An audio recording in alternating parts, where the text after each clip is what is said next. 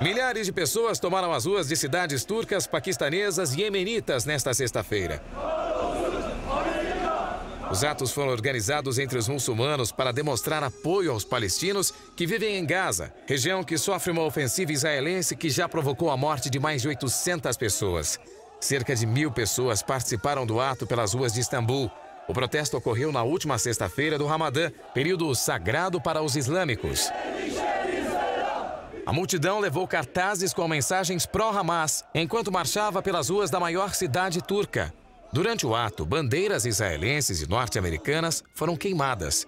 O sentimento anti-israelense é alto na Turquia, em particular entre o primeiro-ministro Recep Tayyip Erdogan e a base eleitoral sunita. No Paquistão, bandeiras nacionais hasteadas a meio mastro sobre prédios do governo demonstraram que o país observa um dia de luto para o povo de Gaza. A medida foi solicitada pelo primeiro-ministro Nawaz Sharif. Centenas de ativistas da ala humanitária do grupo militante Lashkar-e-Taiba se reuniram no ato contra Israel no centro da cidade de Lahore.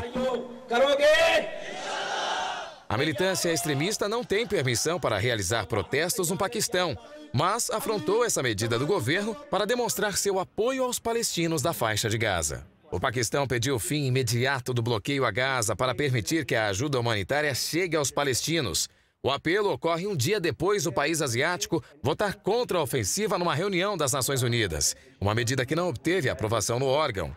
No Iêmen, as pessoas compareceram em massa, carregando cartazes em apoio ao povo palestino.